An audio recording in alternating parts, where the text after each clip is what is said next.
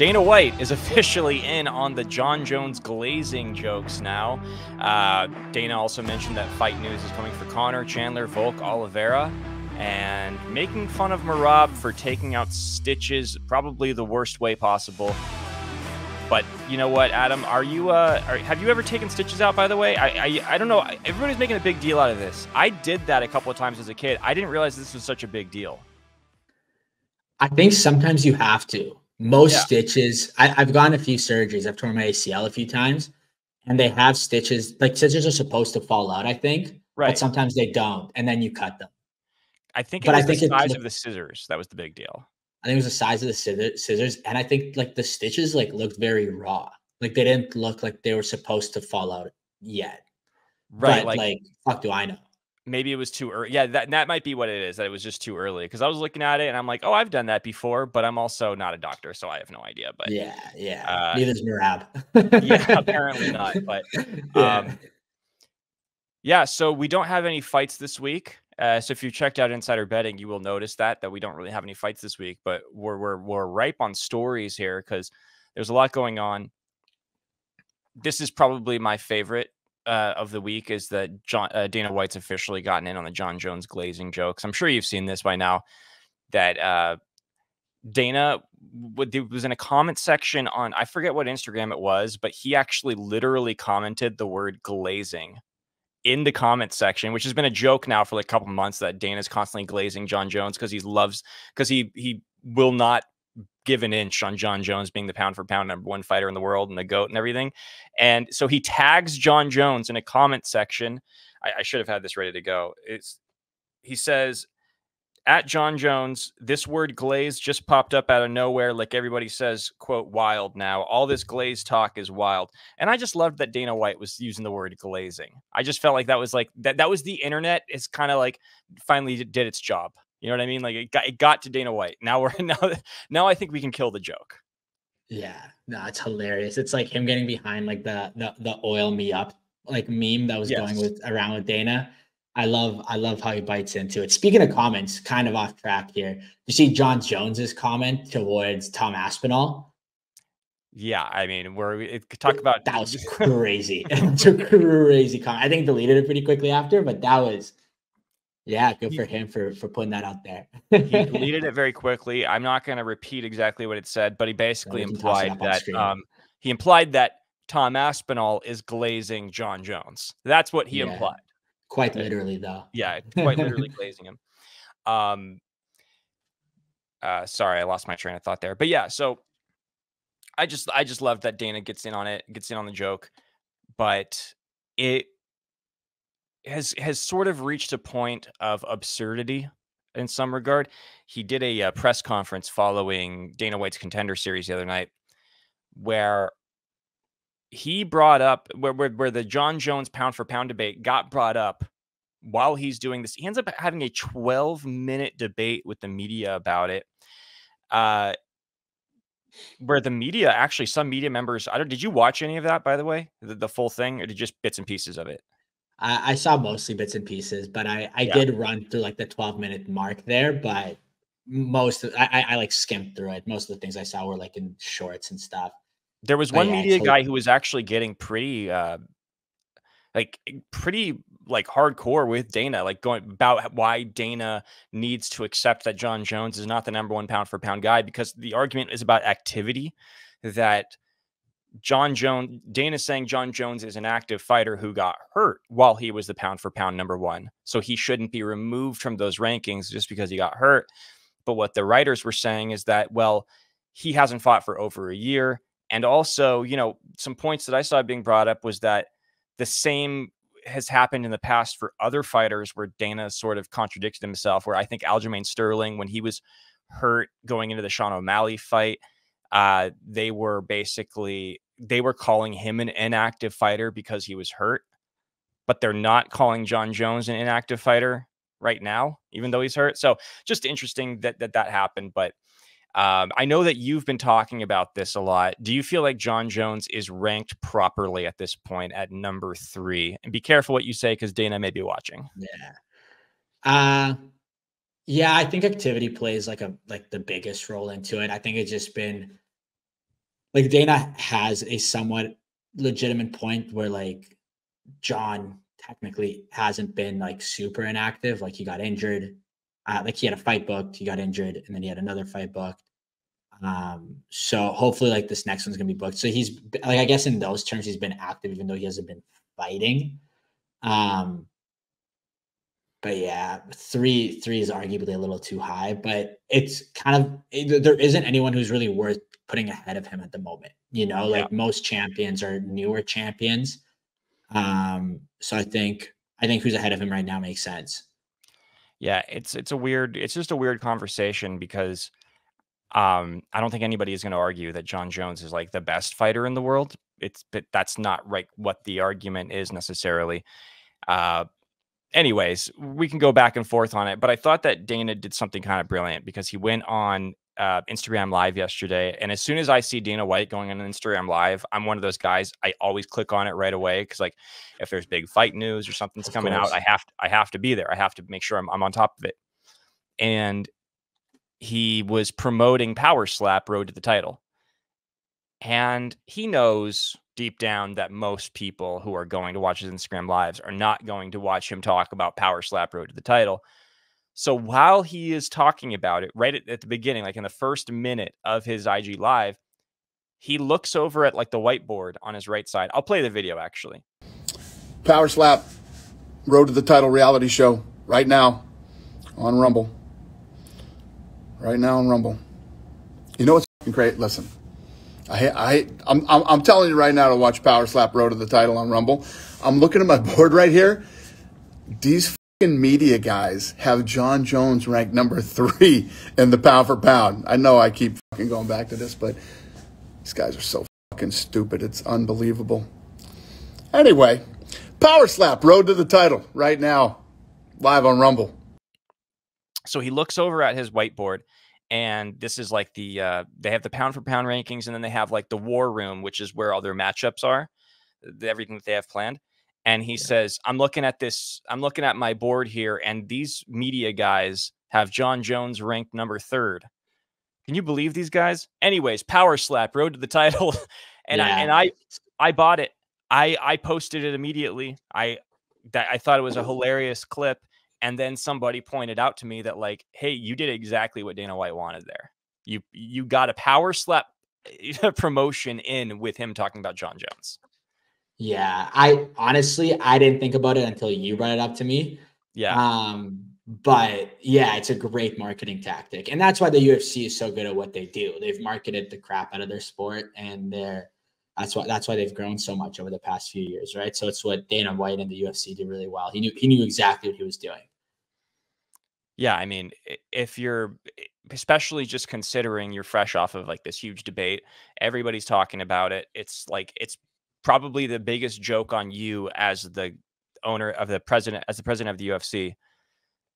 The fact that he brought it up there was just so funny to me. It was my yeah. favorite things uh, of the week. So I'm happy got it out. Anyways, yeah. uh, we're gonna move on because Dana did say some other interesting things. But first, we have to tell you a little bit about an offer from our friends over at DraftKings.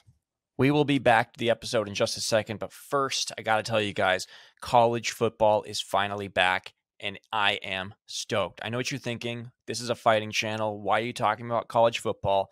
Well, those guys are kind of like the gladiators of the gridiron. They deserve our respect. And you know what else deserves respect? DraftKings, because they have an amazing offer for you right now. And we have partnered up with DraftKings to bring it to you. New DraftKings customers who bet $5 receive $200 in bonus bets instantly. And all you got to do is use our promo code Inside Fighting when you sign up. If sports betting is not yet available in your state, don't worry about it. Just go use DraftKings Daily Fantasy Sports. It's what I do all the time as a Californian. I love it. Again, new DraftKings customers who bet $5 will receive $200 in bonus bets just by using our promo code Inside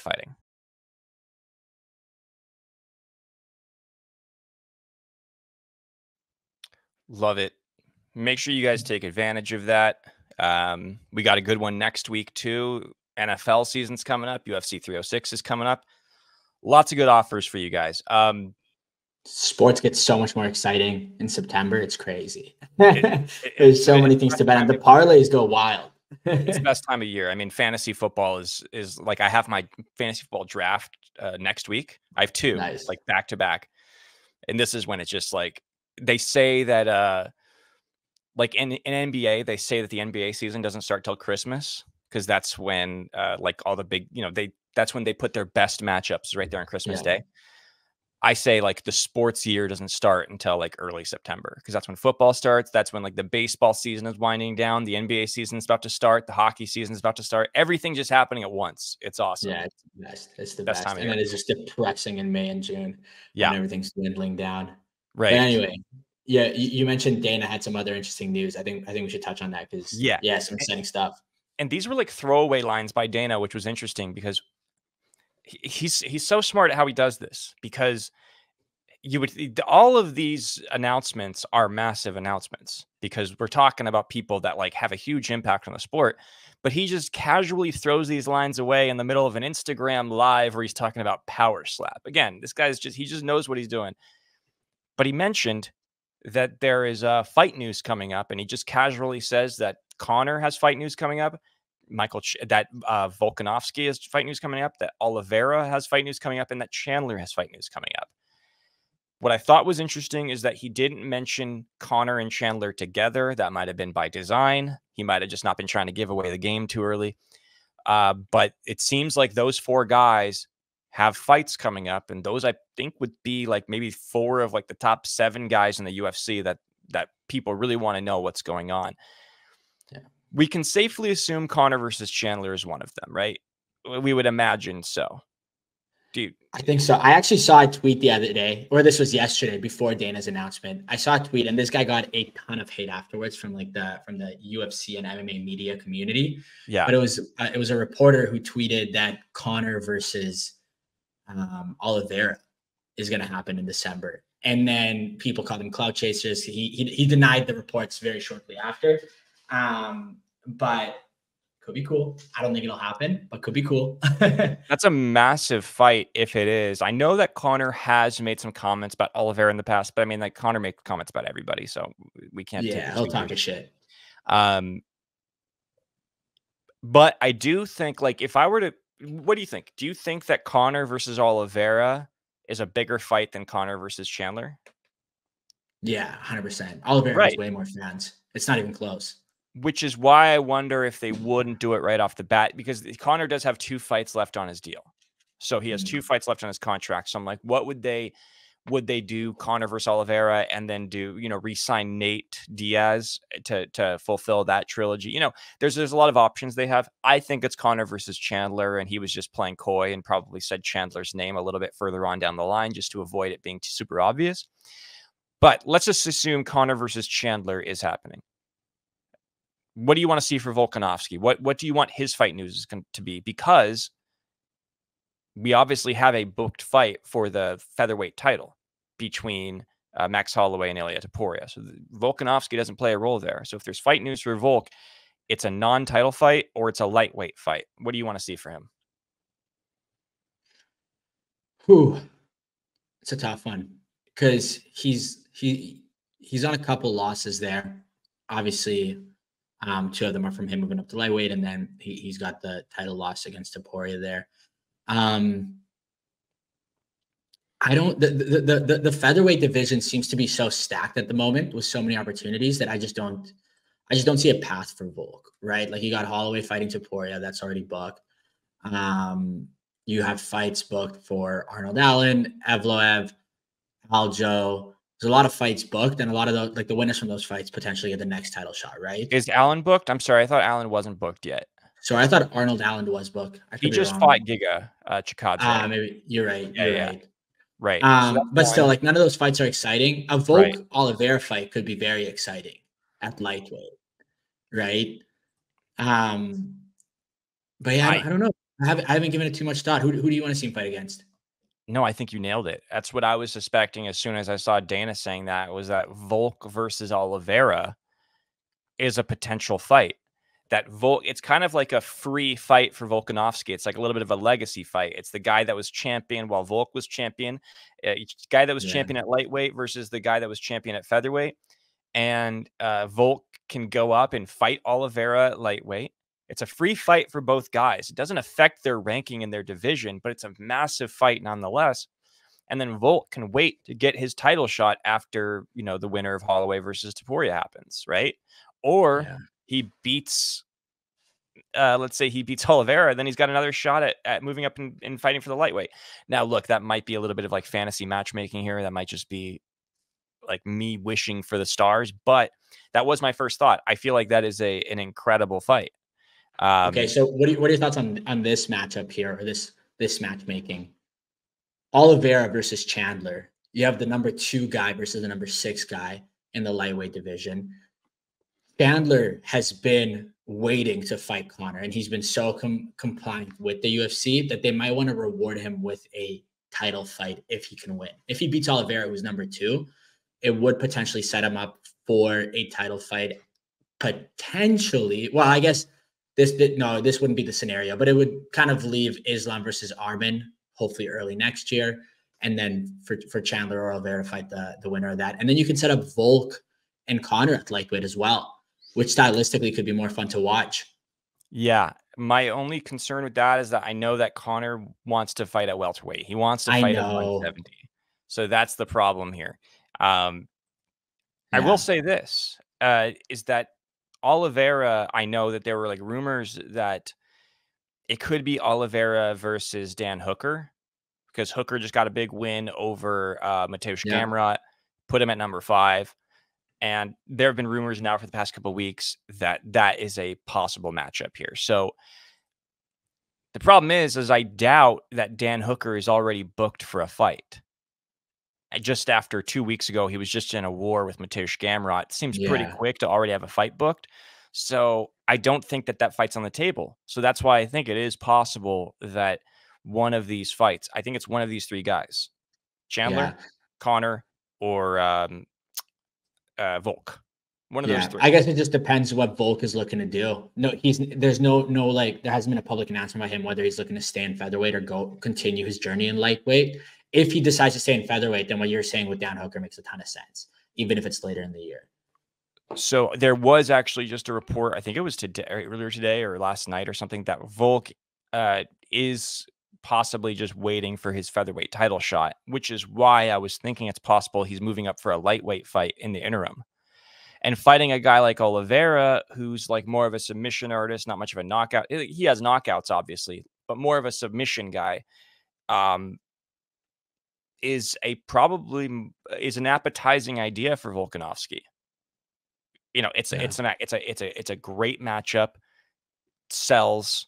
You can it's easy to market to fans, but it's also not a massive risk in any way if he wants to get back to the featherweight title. So I like it. I like that matchup a lot. Yeah. Yeah, I um, agree. And stylistically, be good for Volk to go against Oliveira. Less of a chance of him getting knocked out again. Yeah, yeah, exactly. right. So like that, that's probably pretty relieving for someone like him, considering what he's gone through recently. Yeah, and I just don't see. um I don't know. I mean, I know that Chandler was saying that he's that the UFC is willing to to offer him other fights besides Conor right now, but I just don't think he's off that train yet. I think Chandler yeah. is all in on the Conor fight until For they sure. tell him otherwise. So um mm-hmm. we'll see. We'll see. Either way, it was fun to hear that those guys will be back soon. So hopefully we get an announcement uh sooner rather than later. Um while uh, during this press conference, uh, it's, it's, funny. One of the first things Dana said was that he made a joke about um, cutting stitches with lawn shears what the joke that he was making was it was about Merab Dvalishvili, who obviously was using um, giant scissors to cut his stitches. And uh, I know we talked about this at the beginning, so we're not going to spend much time on it. But um, it got me thinking because you know Merab is obviously about to have the biggest fight of his life. That's why fans are freaking out. Like, what the hell are you doing? You're putting this fight in jeopardy. And we're just what are we? We're now we're two almost two weeks away exactly, two and a half weeks from UFC 306 at the Sphere, one of the biggest, most expensive uh, fight uh, pay per view cards of all time. And I made a video about this. I want to say like a month ago when uh, Sphere tickets were originally put on sale for the first time, and they were going for like three thousand dollars minimum. Yeah. And then the, the the top seats, like in the front row, were going for something like thirty five to forty thousand and that has significantly dropped. We have like a 200% drop. They're going for like 1,000 now minimum, and they yeah. continue to decline. Now, this is kind of expected as we're getting closer to the event. Um, I'm just curious if your thoughts. You might have more insight on this than me because I'm not. I'm not much of a business guy, but it does seem to me a like the venue plays a role in this simply because it's such a unique venue so that you're gonna you're gonna it's gonna be expensive no matter what but the fact that like what i've heard about the the uh the sphere in general is that they have trouble selling in general like they are losing money like crazy at that place if i'm not mistaken they have like a 10 year plan just to make a profit so i'm curious what are your thoughts? And, and also canelo is fighting on the same night it's mexican independence day one of the biggest Mexican boxers in the world is fighting right down the road on the same night as UFC's Mexican Independence Day. I'm just curious what your thoughts are if you think that this is like what, what your analysis of that is. Yeah, I was actually looking at tickets yesterday. They're there you can get them as low as 750. Okay. So even even less than a thousand. I think what happens with events that at such a high ticket price is that there's people who when an event like this comes out, they're like, I am going no matter what, I will be there. So the venue and the the organizers try to have the tickets at, a, at as high of a price as they think that they can get, and then they expect to drop the tickets later because at that point they're just trying to sell like the straggler seats and just try to try to get rid of as many as possible and sell out. But at the end of the day, they make more revenue this way. So it's kind of shitty for the people who buy tickets early, but those people who are buying them early like don't really give a shit because they have the money to spend anyway, and it's like a few, it's a, it's a couple thousand dollars, and to the average person is a lot of money, but the average person is not buying five thousand dollar tickets, right? Yeah. Um, but I think that's what happened. So I think this was always part of the plan. Although, like from an outsider perspective, you're like, oh, they're shit in the bed. But at the same time, they've already put 20 million in production, right? Like that's what Dana was saying. Well, I think he said 16, but I saw 20 million somewhere else. So like, you're not making that back from ticket sales anyway. Everything else is what matters a lot more than that for sure. I think a lot of it's going to go into pay per view too, because I think a lot of it's going to go into their pre-fight advertising. Uh, I think in the week leading up, we're going to see a lot of advertisements about the Sphere itself. Uh, it's Riyadh season two, so it's promoted by by the uh, Saudi company Riyadh season site promotion. Um, and I bet you that paid for most of the event. Right, exactly. Deal. Yeah, yeah. So they're not concerned about losing money on this. Um, mm. I'm more so thinking like what what sort of precedent it sets for for putting an event like this? It's so unique like i, I can't imagine that they would i think dana said that this is a one-off right? They're not doing this ever again. This is like a one-time deal. They're probably never going to go back to the sphere. I think he said that. Am i wrong on that? I yeah no he did say that. No no he did yeah. say that. He said that multiple times. I wonder like how true he will be to his word. I yeah. feel like the sphere will all, like the biggest thing about the sphere is the production and the production takes a ton of time, costs a ton of money. But I believe, like, I, I don't know for certain, obviously, but when it comes to production, a lot of these things are like one time setup and then fixing it up to make it different is a lot cheaper than putting it together in the first place. You know? Yeah. So I bet you if they did it again, they could do a very high level production for like a quarter of the cost. Um, I could see this being a yearly event. Why, why would they not want to do International Fight Week at the Sphere every single year? Yeah, I guess it, it really depends on um it depends on how well I think it does on pay-per-view. Exactly. Uh cuz cuz that's what I was thinking is like dude, what kind of cameras are they going to use? How are they going to get the vibe of the sphere to the people at home? Cuz obviously the majority of people watching this are going to be at home. So um that's where I think is gonna be a big because if they get like if they have like a 1.5 like let's just say like a 1.2 or 1.3 million pay-per-view they sell 1.3 million, like which is obviously extremely high in the era of uh, of illegal streaming. Um, but I think that that will dictate it, and I could see them doing it, especially if the Saudis remain remain involved and you get Riyadh season involved yearly. Yeah, yeah, and they will it, if they yeah. want it. If the UFC wants it. Like yeah. those guys dump money into sports like there's no tomorrow because they have the money to dump, right? So they'll keep dumping it, especially for like the US premium advertising. Like they don't get that often, right? Yeah.